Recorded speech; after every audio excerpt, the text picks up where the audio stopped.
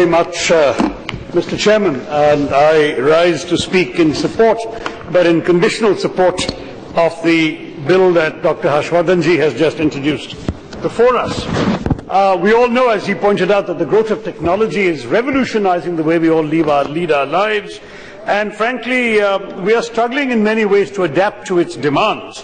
So uh, uh, it is important, uh, I was listening attentively to his introduction.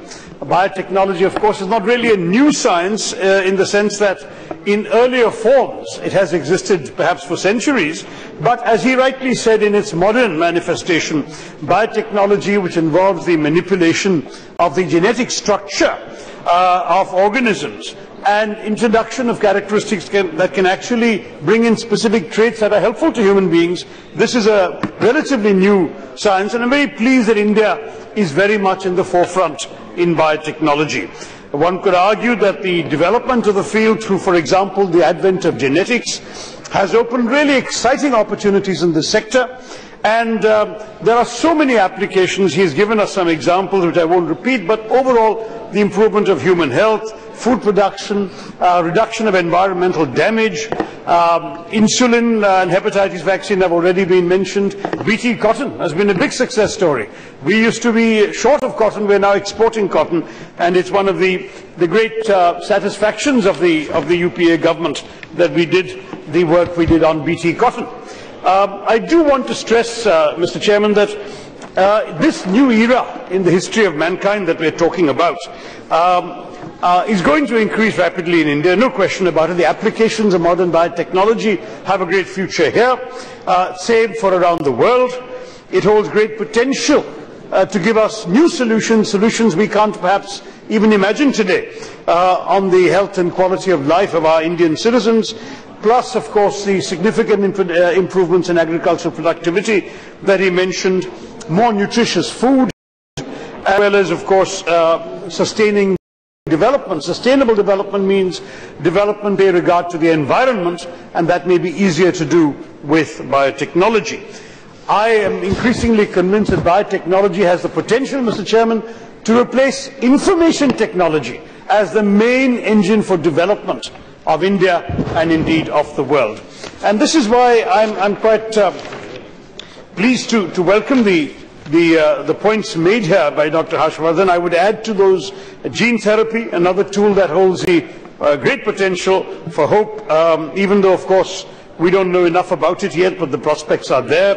xenotransplantation, which involves transplanting body parts from animals into human beings, uh, that's being talked about. We are not, not yet there in that in our area. The Chinese are ahead of us. Nanotechnology, uh, a process of transition here. And then, of course, from a security point of view, the risks of bioterrorism cannot be underestimated. We are facing such serious terrorism threats in our country, and the fact is that uh, there are serious implications if biological agents can be used uh, to harm our people.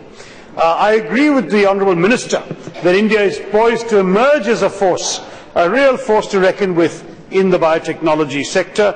We're well on the way to being a $10 billion industry already, and that's why the industrial applications are important. It's a great opportunity for companies in the private sector as well, and they need to work with academic institutions to network and develop uh, ties with the industry so that our uh, growth of biotechnology can proceed in both areas.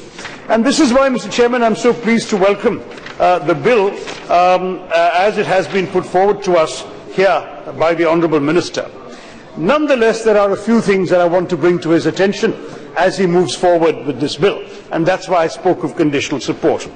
First is uh, that we still need to do a great deal more, uh, Mr. Minister, in improving the quality and quantity of our biotechnology graduates to meet the demands of the biotech industry. There is an independent report by Ernst & Young, which is actually quite critical both of the number of biotech graduates we have, uh, perhaps because of the paucity of institutions, and also of the quality of many of these graduates, and I think we need to address that. Uh, secondly, the government itself is lagging behind Uh, Dr. Harshvardhan said that this has taken a long time. There are other things that have taken a long time. I think that the Indian government quickly needs to enact regulatory reforms um, and, and do much more on the infrastructure front as well, uh, as well as providing more incentives to biotechnology. I'll come back to regulation in a minute, but inadequate infrastructure is pointed to by everybody, even the existing leaders of the biotechnology industry, such as the the chair Biocon, Kiran Mazumdar Shaw, said in an interview that it, it's really a crying shame how poor structure is. And um, I'm sure that uh, Dr.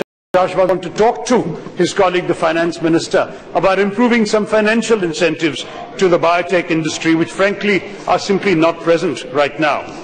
Um, I do want to point out also that, as he mentioned, this bill will grant the new institution in Faridabad, set up in 2009, the uh, status of an institute of national importance.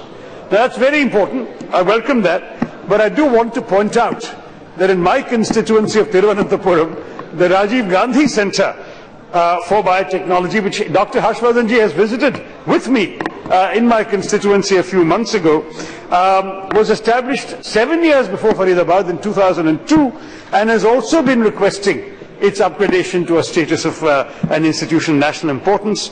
We know the case for the Faridabad Centre is that it would provide them with facilities such as ease of technology transfer, recognition as a global platform, the right to give degrees, uh, resources for conducting quality research, but in the, their welcome focus on this new institution, they should not forget the earlier ones. And I'm sure that Dr. Harshvardhan, who had a very positive visit to the Rajiv Gandhi Institute in, in Thiruvananthapuram, will agree with me that we don't want to leave a, a, a, pioneer in this area by the wayside, and I really feel that uh, we need to, to offer this kind of support. I want to point, if I may, to Wikipedia, which has a ranking of the top 10 schools, uh, universities offering uh, courses in biotechnology in India. Number one is the Institute of Chemical Technology in Mumbai, and number two is the Rajiv Gandhi Center for Biotechnology in Thiruvananthapuram. I'm afraid the Faridabad Center doesn't yet feature in the top 10. So we have a long way to go. I'm not in any way uh, uh, speaking against an institution. I want more institutions uh, in our country, uh, and I want them all to be good. But please honor the ones that are doing well, that are working well, that require support. I also want to point to one particular uh, mention in the bill that Dr. Harshvardhan did not mention in his remarks. Um, he mentioned the various objectives of the bill, and uh, I don't think we have any fundamental problem with them. But one of the functions spelled out in Section 9 is to develop and implement a policy for intellectual property rights, IPR, with equitable and just provisions for all stakeholders, quote unquote. Now, this is a priority function, as you know, Mr. Chairman. The preservation of intellectual property uh, is, is, a broad principle that India is committed to, but the intellectual property rights of biotechnology research has been a major concern, uh, partly because of the complexity of provisions in IPR laws around the world, and certainly uh, our own uh, IPR laws have led something to be desired. Now, in this context, I do want to mention that there are a whole number of issues with regard to TRIPS. Our patent laws don't match the trade-related intellectual property laws that we have signed up to as a government, and I would urge uh, the, the, the, Minister to kindly pay some serious attention uh, to this question of reconciling trade-related intellectual property rights to our Indian patent laws and if necessary moving to amend our laws as appropriate uh, or at least then to put conditions on our accession to the, to the TRIPS because this again becomes a significant factor in the growth of the biotechnology industry. And then I, I want to express some concern, Mr. Chairman, uh, and indeed, indeed some disappointment that this House has not enacted uh, a bill from the UPA era, the Biotechnology Regulatory Authority of India Bill 2013. We introduced it in the Lok Sabha in April of 2013. It was referred to a committee. It never came back with all the various disruptions of the House, and in the end it was not adopted. The, of course, the bill that's introduced in the Lok Sabha lapsed when the previous Lok Sabha got dissolved. I would like to urge my good friend, uh, the Honourable Minister, to take up this issue. The question of regulating biotechnology has to move side by side with all the enthusiasm that he has rightly shown for the creation of the institute in Faridabad and the new bill. Uh, I am all in favor of us cooperating with UNESCO. I welcome the fact that we want to be a hub for the other countries of South Asia and Southeast Asia. All that is well. But what is the regulatory framework under which our biotechnology work is going? This institute has not been planted out of, uh, out of nowhere. There is a context. The context lies in the laws, rules and regulations of India, which very frankly, in our own estimation as a government, when we were in government, we felt were inadequate for the challenges that the country faces, and we therefore produced a, a draft regulation. Now, we are not wedded to one particular bill or form of bill, but we would urge the minister to go back to that bill, resurrect it, taking into account the findings of the committee that looked into the bill in 2013, which I believe has submitted its report, and then to see whether we can't move side by side. That is, yes, we can go ahead and adopt this bill today, but as part of the process, you are creating institutions, you are saying they are of national importance. Let us also, as part of that process, have an adequate regulatory framework. This is required by the Convention on Biological Diversity, which we are a signatory of. It is also part of the Cartagena Protocol on biosafety. Because after all, regulation is not only about control or command and control. I myself am not a great fan of command and control systems. What we are worried about is under what framework will these institutions grow and how can we ensure that we are also kept safe in the process.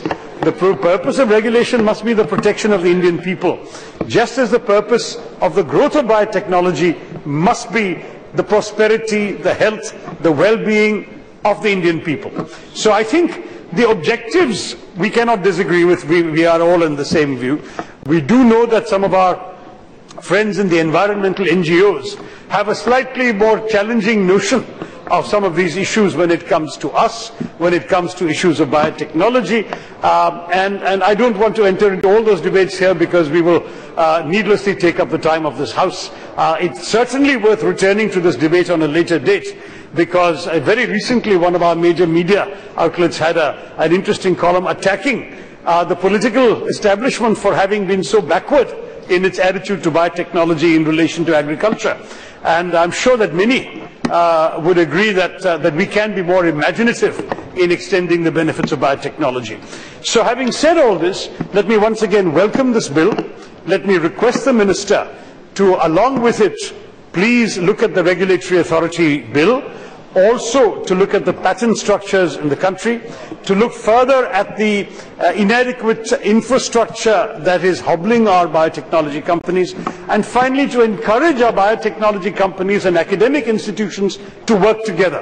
When you have an institution like this one in Faridabad, it would be very, very helpful if they were encouraged, indeed permitted in the first place, to have a relationship with private sector companies so they can do collaborative research with industrial applications and marketing potential. Can you imagine a situation where a company goes to this institute and says, uh, here we have X number of rupees to offer you. If you have the right kind of PhD students, we want you to research this and we will help you. And then if you actually find the solution, we can patent it together, uh, or you can patent it and we can produce it, and we can share the profits. This kind of thing happens routinely in the Western world. It doesn't happen enough in our country. And I urge uh, the, the Minister in administering this institution to ensure that all these possibilities are also included. With these words, Mr. Thank Chairman, you. I would like to express uh, our support for the passage of this bill and these are taken forward in its implementation in the years to come. Thank you, Mr. Chairman. Thank you.